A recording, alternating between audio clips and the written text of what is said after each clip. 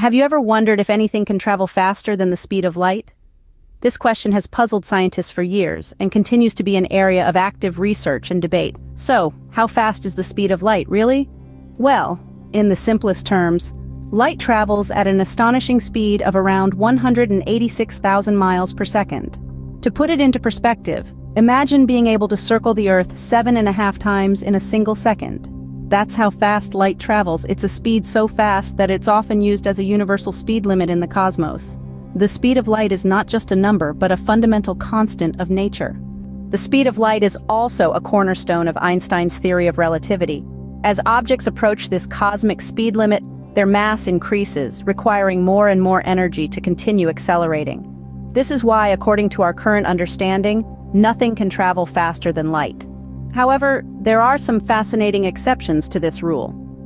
One is the expansion of the universe itself. Distant galaxies are moving away from each other at speeds exceeding that of light. But this isn't a case of galaxies speeding through space. Rather, it's the very fabric of space that's expanding. Another exception lies in the world of quantum physics, with a phenomenon known as quantum entanglement. Here, pairs of particles become linked, with the state of one instantly affecting the state of the other no matter how far apart they are.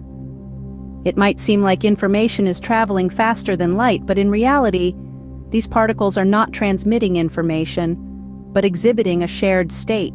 So while these examples might seem to contradict the speed of light limit, they actually don't. They're simply reminders of the fascinating complexities of our universe. As it stands, the notion of traveling faster than light remains a tantalizing concept explored mostly in the realm of science fiction, but who knows what future discoveries might bring?